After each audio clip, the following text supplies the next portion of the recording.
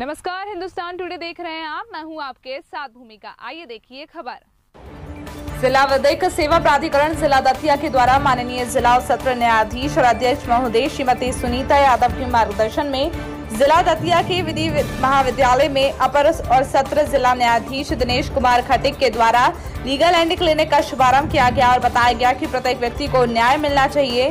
कोई भी व्यक्ति न्याय से वंचित न रहे। लीगल एंड क्लिनिक का मुख्य उद्देश्य है कि आपसी विवादों का जल्द ही निराकरण करना और उन्हें न्याय का रास्ता दिखाना और न्याय दिलाना। ये पैरालीगल वॉलंटियर्स का कर्तव्य होगा। इस अवसर पर विधि कॉलेज प्राचार्य doctor D R Rahul Shri Ratna Suryavanshi sushi Karan वाला सुशी सूर्या शर्मा और पैरालीगल वॉलंटियर्स श्री सत्येंद्र दिसोरिया, रोहित अहिरवार, अंकिता श्रीवास्तव रानी यादव फरीन खान आदि मौजूद रहे। दतिया से संवाददाता अंकित जैन की रिपोर्ट।